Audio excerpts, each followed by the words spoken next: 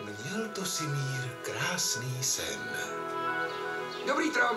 O světě bez explozí a bez rozbitých aut. Stává, vyskoč z peřin, co je s tebou?